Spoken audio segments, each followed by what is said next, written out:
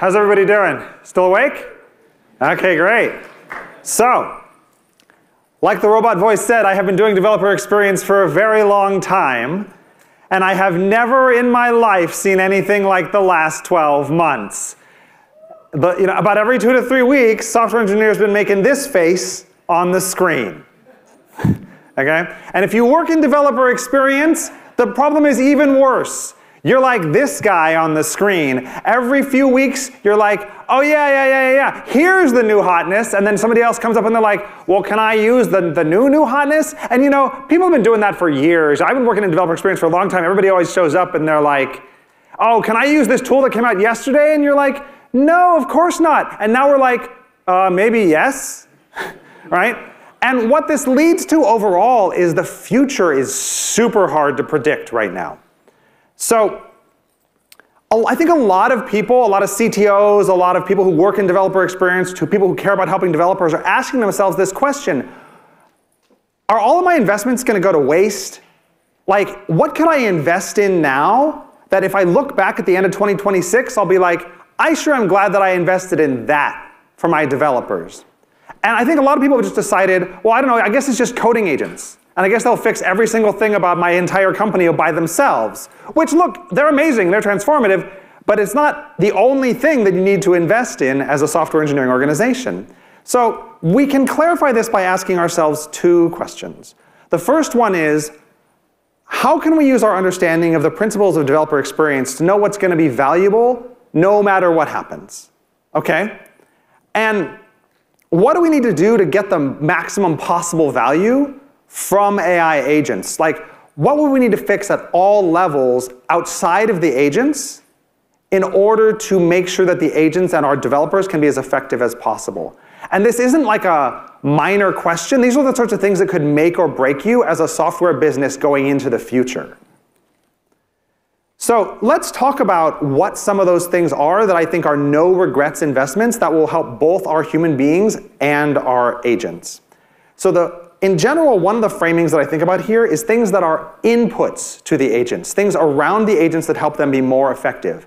And one of the biggest one is the development environment. What are the tools that you use to build your code? What package manager do you use? What linters do you run? Those sorts of things. You want to use the industry standard tools in the same way the industry uses them, and ideally in the same way the outside world uses them, because that's what's in the training set. And look, yes, you can write instruction files and you can try your best to try to fight the training set and make it do something unnatural and unholy with some crazy amalgamation that or modification that you've made of those developer tools. Like you might be you invented your own package manager.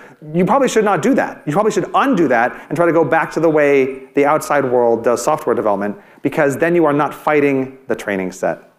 Um, and also, it means it means things like you can't use obscure programming languages anymore. Look, I'm a programming language nerd. I love those things. I do not use them anymore in my day-to-day agentic software development work. As an enthusiast, I do come, sometimes go and I code on you know frontline uh, software engineering languages, but not in my like real work anymore. So what people ask me sometimes, does that mean like we're never going to ever have any new tools again because we're always going to be dependent on the tools that the model already knows? Probably not because like I said, there's still going to be enthusiasts. And also, but like I would like to make a point. The thing that I'm talking about has always been a real problem. Like there's always some developer at the company has always come up to you and be like, can I use this technology that came out last week and has never been vetted in an enterprise to run my like 100,000 queries per second service that serves a billion users? And I'm like, no, you can't do that now and you can't do that yesterday, it's still the same. Uh, another one is, in order to take action today, agents need either a CLI or an API to take that action. Yes, there's computer use. Yes, you can make them write playwright and orchestrate a browser, but why? Like, if you could have a CLI that the agent can just execute natively in its normal format that it understands the most natively, which is text interaction, why, why would you choose to do something else, especially in an area where accuracy matters dramatically and where that accuracy dramatically influences the effectiveness of the agent? One of the most important things that you can invest in is validation. So any kind of objective, deterministic validation that you give an agent will increase its capabilities. So yes, sometimes you can create this with the agent. I'm going to talk about that in a second. but it doesn't really matter how you get it or where you get it from. You just need to think about how do I have high quality validation that produces very clear error messages. This is the same thing you always wanted, by the way, in your tests and your linters, right? But it's even more important for the agents because the agents cannot divine what you mean by 500 internal error with no other message, right? Like, they need a way to actually understand what the problem was and what they should do about it. However, there is a problem here. So, you know, you think, okay, I'll just get the agent to do it. They'll write my tests and then I'll be fine. But have you ever asked an agent to write a test on a completely untestable code base? They do kind of what it's like is happening on the screen here. They will write a test that says, hey boss, I pushed the button and the button pushed successfully. Test passed. Um, like, so there is a sort of a, a larger problem that a lot of enterprises have in particular, which is there's a lot of legacy code bases that either were not designed with testing in mind or were not designed with like high quality testing in mind. Like maybe they just have like some very high level end-to-end tests and they don't have like great unit tests that the agent can actually run iteratively in a loop and that will produce actionable and useful errors. So another thing that you can invest in that will can be perennially valuable both to humans and to agents is structure of your systems and structure of your code bases. Agents work better on better structured code bases. And for those of you who have never worked in a large enterprise and seen very old legacy code bases, you might not be familiar with what I'm talking about, but for those who have, you know that there are code bases that no human being could reason about in any kind of successful way because the information necessary to reason about that code base isn't in the code base, and the structure of the code base makes the code base impossible to reason about by looking at it. Yes, you, the agents can do the same thing human beings do in that case, which is sort of go through an iterative process of trying to run the thing and see what breaks. But that decreases the capability of the agent so much compared to just it having the ability to just look at the code and reason about it the exact same way that human capability is decreased. And of course, like I said, that all has to lead up to being testable if the only thing I can do with your code base is push a button and know if the button pushed successfully and not see the explosion behind it, like if, the, if, if there's no way to get that information out of the code base from the test, then the agent's not going to be able to do that either unless it, it goes and refactors it or you go and refactor it first. And you know, there's a lot of talk about documentation. There's always been a lot of talk about documentation in the field of developer experience, in the field of improving things. And there's people go back and forth about it. Engineers hate writing documentation. Uh, and the value of it is often debated, like what kind of documentation you want or don't want, do or don't want. But here's the thing. The agent, let's just take this in the context of the agent. The agent cannot read your mind. It did not attend your verbal meeting that had no transcript. okay? Now, there are many companies in the world that depend on that sort of tribal knowledge to understand what the requirements are for the system, why the code is being written, what is the specification that we're, we're writing towards. If things are not written down, and that sounds like blatantly obvious, but like there are a lot of things that are fundamentally written. Like if the code is comprehensible, like all the other steps are in that we've gotten to so far, you don't need to re-explain what's in the code. So there's actually probably a whole class of documentation that we may not need anymore, where you can just ask the agent like, hey, tell me about the structure of this code base overall, and it'll just do it. But it won't be able to ever know why you wrote it unless that's written down somewhere. Or things that happen outside of the program, like what is the shape of the data that comes in from this URL parameter, as an example. Like if you have already written the code, there's a validator, and that does explain it. But if you haven't written the code yet, it doesn't know what comes in from the outside world. So basically, anything that can't be in the code or isn't in the code needs to somehow be written somewhere that the agent can access. Now, we've covered sort of a few technical aspects of things that we need to improve.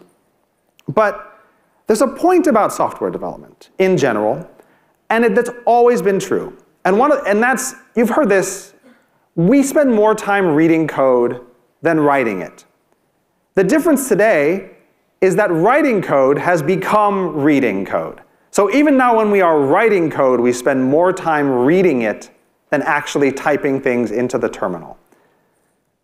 And what that means is every software engineer becomes a code reviewer as basically their primary job.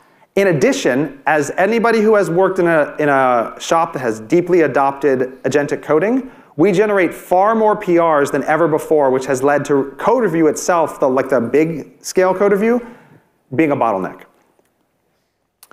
So one of the things that we need to do is we need to figure out how to improve code review velocity, both for the big code reviews that we like where we you send a PR and somebody like you know writes comments on it and you go back and forth, and also just the iterative process of working with the agent.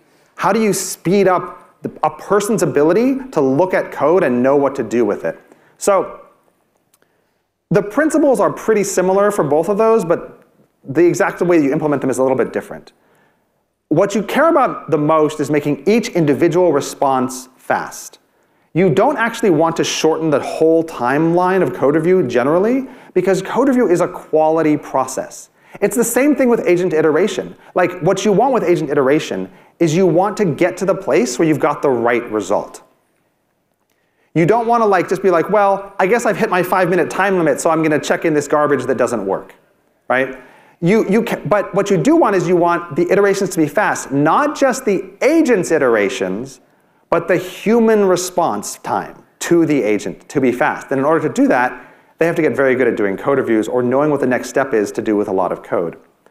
At the big code review level, one thing that I see that I think is sort of a social disease that has infected a lot of companies is when people want PR reviews, they just send a Slack message to a team channel and say, hey, could one of the 10 of you review my PR?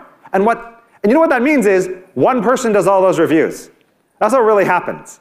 There, there's like, when you look at the code review stats of teams like that, there's one person who has like 50 and the other person have like three, two, five, seven, because there's just one person who's like super responsive. So, but what that means is, if you start generating dramatically more PRs, that one person cannot handle the load. You have to distribute it, and really the only way to distribute it is to assign it to specific individuals, have a system that distributes it among those individuals, and then set SLOs that have some mechanism of enforcement. And another thing is, like that GitHub, for example, is not very good at today, is making it clear whose turn it is to take action. Like, I left a bunch of comments on your PR. Uh, you now responded to one of my comments. Should I come back again now? Oh, wait, no, no, now you pushed a no change. Should I come back now? Okay, no, oh, no, now you've responded to more comments. What I rely on mostly is people telling me in Slack, I'm ready for you to review my PR again, which is a terrible and inefficient system. And another thing you got to think about a lot is the quality of code reviews. And I mean this once again, both for the individual developers doing it with the agent and the people doing it in the code review pipeline. You have to keep holding a high bar. I know that people have other opinions about this, and yes, depending on the timeline that you expect your software to live, you might not need as much software design. Like, look, software design is not the goal of perfection. It's a goal of good enough and better than you had before, right? But sometimes good enough for a very long-lived system is a much higher bar than people expect it to be. And if you don't have a process that is capable of rejecting things that shouldn't go in, you will very likely actually see decreasing productivity gains from your agentic coders over time as the system becomes harder and harder for both the agent and the human to work with. The problem is this. In many companies, we have the people who are the best code reviewers not doing any of their time doing code review. They are spending all their times in meetings, doing high-level reviews, doing strategy, and so we aren't teaching junior engineers to be better software engineers and to be better code reviewers. So we have to have some mechanism that allows the people who are the best at this to do this through apprenticeship. If somebody else has a better way of doing this than doing code reviews with people, I would love to know because in the 20 plus years that I've been doing this, I have never found a way to teach people to be good code reviewers other than doing good code reviews with them. Now, if you, do, if you don't do all the things that I talked about, what is the danger? The danger is you take a bad code base with a confusing environment, you give it to an agent or a developer working with that agent. The agent produces relative levels of nonsense, and the developer experiences more or less frustration And depending on how persistent they are, at some point they give up. And they just send their PR off for review. They're like, I think it works, right? And then if you have low quality code reviews or code reviewers who are overwhelmed, they go, I don't know, I don't know what to do with this. I guess it's okay. And you just have lots and lots and lots of bad rubber stamp PRs that keep going in, and you get into a vicious cycle where what I expect to occur, and what my prediction is, is that if you are in this cycle, uh, your agent productivity will decrease consistently through the year. On the other hand, we live in an amazing time where if we increase the ability of the agents to help us be productive, then they can actually help us be more productive and we actually get into a virtuous cycle instead where we actually accelerate more and more and more and more. And yes, some of these things sound like very expensive fundamental investments, but I think now is the time to make them because now is one of the times you're going to have the biggest differentiation in your business in terms of software engineering velocity if you can do these things versus other in industries or companies that can't structurally do these things. So, to summarize, here's a few things. Not literally everything in the world you can do that's no regrets, but you can standardize your development environments. You can make CLIs or APIs for anything that needs a CLI or API. Those CLIs or APIs have to run at development time, by the way, too. Another big thing that people miss is sometimes they have things that only run in CI. If your CI takes 15, 20 minutes, and you know, agents are like way more persistent and patient than a human being is. So like, but they're also more error prone than human beings are. So like they will run the thing and then run your test and then run a thing and then run your test and then run a thing and then run your test.